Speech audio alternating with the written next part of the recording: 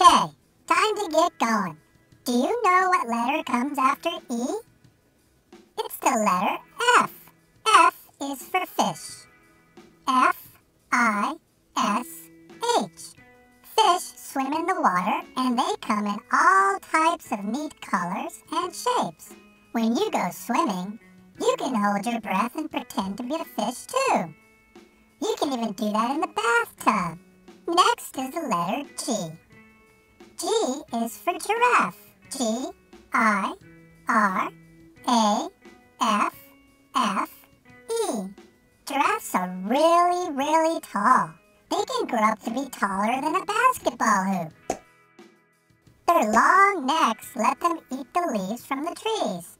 And because their legs are so long, they have to crouch down to drink water, like this.